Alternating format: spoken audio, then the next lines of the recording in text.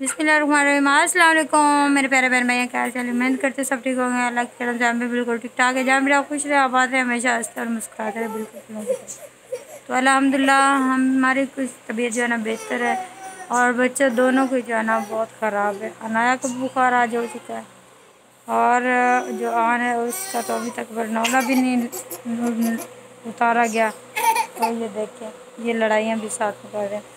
तो प्यारे बहन भाई, जो हमारे चैनल पर नहीं है, जल्दी से कर दें सब्सक्राइब शेयर लाइक और अच्छे अच्छे कमेंट्स तो चलें जी, आगे की वीडियो आप लोगों से शेयर करते हैं वीडियो के साथ फ्रेंड्स ये देखें जी, अनाया को बहुत तेज़ बुखार हो गया। दोपहर को मैंने कहा, एक बच्ची हुई है, लेकिन अल्लाह ने कहा कि पूरी फैमिली को मैंने कुछ ना कुछ ना करना है। चलो, अल्लाह पाक सेहत दे, तंदुरुस्ती दे। और अनाया को जो है ना, बुखार बहुत तेज़ है। अभी इसीलिए ना, इस तरह बैठी हुई है, इसकी आँखें भी जो है ना सूझ गई। अच्छा दस रुपये देने हैं, दस रुपये ये ले। खान का अभी तक बरनौला जो नहीं उतरा, ऊपर से मैंने पट्टी बांधी, ये जो है ना बार बार ऊपर से खींचता है, ऊपर से पकड़ के ना। तो चलो जी, इनके लिए ना मैंने थोड़ी सी खिचड़ी बनाई है, वो भी आप लोगों से शेयर कर देते हैं। थोड़ी सी बनाई थी, फिर मैंने भी खा लिए, उनके लिए भी रख दिए ये देखिए, बीच में सब कुछ डाल के ना मैंने थोड़ी सी खिचड़ी साथ में बना ली थी, बच्चों के लिए और खुद के लिए, क्योंकि मैं भी अभी दवाई जो है ना खा रही हूँ। मेरी दवाई भी वो पड़ी हुई है। तो अभी इन्हें देते हैं फीडर। जल्दी से पहले इनको वॉश करते हैं और फिर इसको इनको पिलाते हैं। जी तो अलहमदिल्ला दूध जो है ना मैंने दे दिया है। वो देखो, फीडर पी रहे हैं।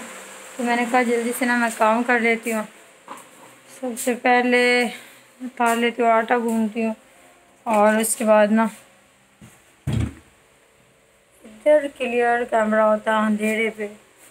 रोशनाई पे बिल्कुल क्लियर नहीं है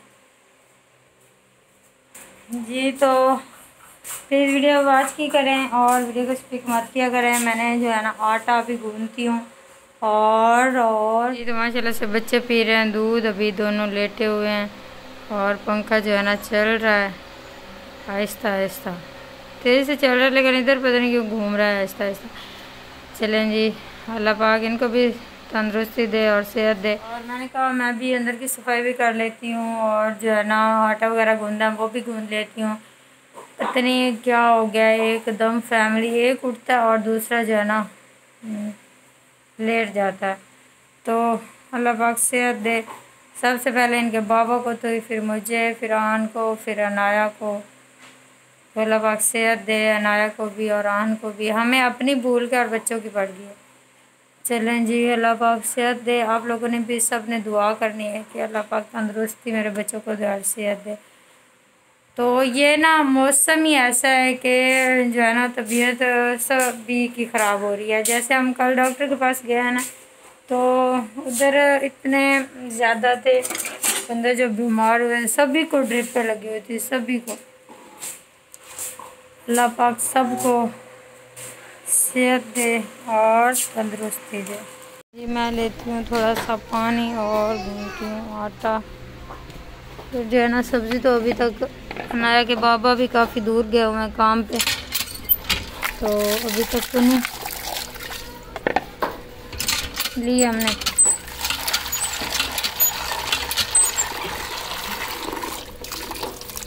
चलें, ये मैंने ले लिया पानी।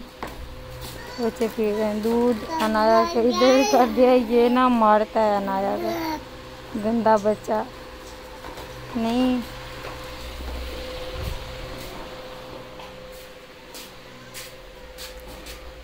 ऐसे, अभी आ गया मेरे पास थॉल भी आटे वाला, और आ गया पानी भी, और निकालती हूँ आटा भी।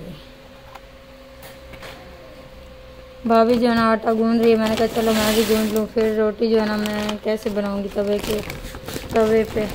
तो उधर ना जल्दी बन जाती है ना, और ठंडी भी होती है रोटी तंदूर की।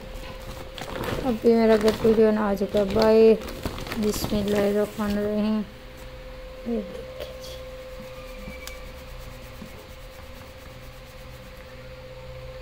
देखें जी। अलहमदिल्ला आटा मैंने गूंद लिया और आन जो है ना खेल रहा है अनाया नीचे उतर चुकी है, क्योंकि आन ने जो है ना इसे मारा है। तो खिचड़ी भी इन्होंने खा ली है थोड़ी सी थोड़ी थोड़ी खाई है, लेकिन इतनी ज़्यादा नहीं। तो अभी जो है ना उसने तो चार पे बाहर निकल क्योंकि हम कमरे में ही सोते हैं। क्योंकि बाहर जो है ना बहुत मौसम चेंज है और हालात बहुत ख़राब है। इधर गिरा पानी, उसको सफ़ा कर देती हूँ और इसको सीधे चादर को करके फिर जो है अंदर कह के बाहर झाड़ू लगा लेती हूँ क्योंकि साफ़ नहीं हो रहा। ये देखिए, अनाया बिल्कुल लटक पटक गई है। अनाया खान क्या हुआ है? अनाया की आँखों में आँसू हैं और नोज़ी से नोज़ी आ रही है। बस बस, चुप चुप। मेरा शहजादा बच्चा।